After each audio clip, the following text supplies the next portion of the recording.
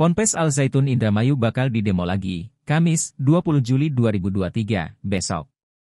Aksi unjuk rasa ini menjadi demo jilid 4 di Ponpes yang dipimpin Panji Gumilang tersebut. Walau proses penyidikan yang dilakukan Bareskrim Polri terhadap Panji Gumilang tengah bergulir saat ini. Namun, masa aksi dari Aliansi Santri dan Rakyat untuk Indramayu, ASRI, tetap akan mengepung Al Zaitun. Koordinator Aliansi Santri Indonesia untuk Rakyat Indramayu, M. Sholihin menegaskan, selama Panji Gumilang belum ditetapkan sebagai tersangka dan diadili, pihaknya akan terus melakukan demo. Ini menjadi keprihatinan bagi santri, alumni, termasuk masyarakat Indramayu yang ingin Panji Gumilang cepat diadili, ujar dia kepada tribuncirebon.com, Rabu, 19 Juli 2023. Namun Ketua Forum Pondok Pesantren, FPP, Indramayu, KH Azun Mauzun mengimbau agar para santri tak ikut demo ke Ponpes Al Zaitun.